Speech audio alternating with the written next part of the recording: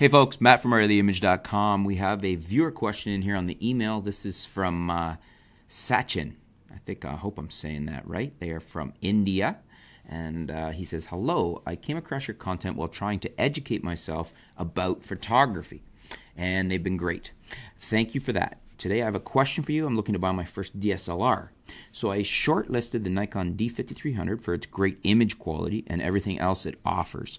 Recently I learned about the Nikon D7200 and liked it better for its semi-professional features because I'm passionate about photography and will be taking professional photography work once I improve my skill. So I thought the D7200 will serve me better in the long run. However, the D7200 is still a crop sensor DSLR, and I almost never see a pro using a crop sensor DSLR for their work. So, will I be able to professionally work with the D7200 itself, or will I have to update from that too? If I do have to update from the D7200, I thought I'd rather buy the 5300 now, save money, and update if altogether to full frame in the future. What do you think? Is a full frame DSLR utmost necessary for pro work, weddings, portraits, and street photography, or will the D7200 uh, be sufficient? Also, I couldn't find where and how to buy refurbished models. I couldn't find it. Please guide me to that too. What is your opinion on this? Looking forward to your reply. Thank you for your effort. Regard, uh, yours truly, Sachin. So, thank you very much for your question. Uh, we get a lot of questions about the 7200, uh, and you're trying to decide between 5300 and 72. Um, let's answer some of the direct questions you had here. Um, uh, you said you've never seen a pro using a crop sensor for their work. Well, all of us used to because at one point there were no full frame DSLRs out yet, except for the old Kodak, which most people weren't using. wasn't fast enough for event work like weddings and, and whatnot. Uh, and then you said, Will I be able to professionally work with the D7100 itself? Sure.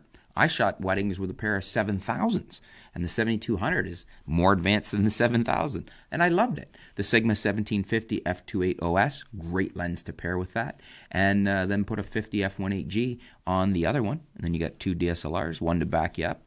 Uh, the old Navy SEAL philosophy uh, two is one and one is none. In other words, if one fails, you're still shooting.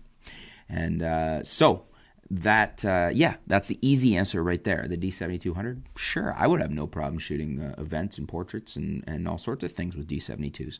It's a great bargain setup. In fact, you could get a 7100 and get most of the goodness. The only thing the 7200 really has over the 71 is a deeper shot buffer. In other words, if you're shooting high frame rates, like if you're tracking a sports figure running or a moving um, animal, wildlife, bird photography, something like that, you may benefit from it there. But for weddings and events, I'd probably be happy with the 7100s. It's essentially the same camera, same great autofocus system, top end autofocus system. So yeah, no problems with that. Just choose the right lenses. And as I suggested, Sigma 17 to 50 f2.8 and the 50 f1.8G, it's probably all you need. I've definitely shot with just those two lenses. If you want to go a little longer, then get into a 70 to 200, either the f4 or a Sigma f2.8, or uh, it just depends what your budget is there. Um, now, as far as full frame, you may still want to upgrade to full frame in the future. You don't need to, but full frame has its advantages. Shallower depth of field with a given lens, um, about two stops better high ISO, so if you're shooting in dimmer lighting. And, you know, all a lot of things pros like are that the lenses are what they are. There's no crop factor applied. So if you're putting a 24 to 70 on, it is a 24 to 70. You don't have to multiply it by 1.5 for the crop factor of a DX crop sensor camera. Um, so there is some definite advantages. I really like the 610. It's a great all-around camera. 7200 actually has a better autofocus system than the 610. Although the 610s is decent, it's very usable. 750 is a great option. Can get it for a good deal right now. It's been out for a while, but it's still one of the best DSLRs, full frame DSLRs out there. Um, so you just kind of got to decide what your budget is. If your budget allows, sure, step right up.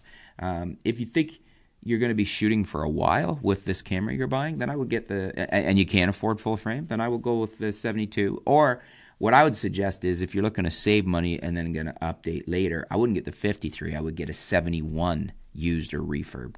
It's the best of of, of all solutions there for you, I think, because um, for weddings and event work, you're not really going to need that higher uh, ability to, to the, the, deeper shot buffer to shoot a higher frame rate more frequently. Um, so I would go with the 71 and save money. That's what I would do.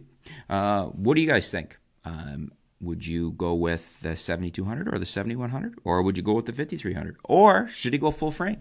Do you agree with what my suggestions are? Do you have a different suggestion? Let us know in the comments below. Always great to hear from you guys and your feedback helping out our viewers.